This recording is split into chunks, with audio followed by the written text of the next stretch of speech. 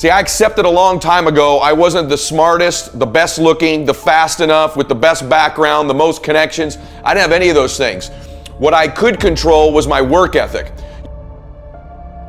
I'm crazy. Like I'm a psycho because I want to win. I want to be somebody. I want to separate. I want to compete.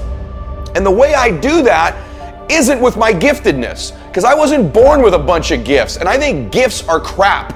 I think for the most part, gifted people struggle in life because things come easy to them. I like that things haven't come easy for me in my life. I like that I don't have natural talents in every area. And maybe you like that about you too. Maybe you've looked at yourself all your life and thought, man, I don't have that natural beauty or that natural talent. I don't have any of those things.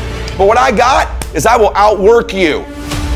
You get to winning for me, it's come down to maxing out. And what maxing out means is you do one more at least than you think you're capable of. So when you're done, whatever you're doing, whether it's at the gym or phone calls or meetings or in sports, one more shot, one more throw, one more swing of the golf club or the baseball bat, the separator is for the winners, they do one more.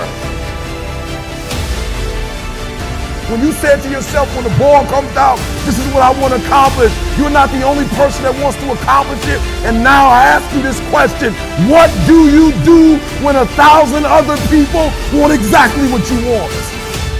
You have to outwork them. What do you do when you're not the only one that wants to make a million dollars in your company? You're not the only one that wants to be the president. You're not the only one that wants to be the CEO. What if you're not the only one that wants what you want? What if there are thousands of other people who want what you want? You have to outwork them. You got to outgrind them. You got to get up earlier. You got to stay up later. And I'm the kind of guy that I know when you do 45 minutes on the treadmill and I do 46, I deserve to be fitter. I know that when I'm lifting weights and I watch you do five sets of 10 and every single time I do one more. When it's a set of five, I do six. When it's 45 on the treadmill, I do 46. When it's supposed to be 20 phone calls, I make 21. When it's supposed to be an eight hour workday, I work nine. Whatever it is, I always do one more.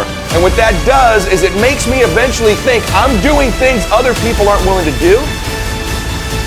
So I should get things other people aren't going to get.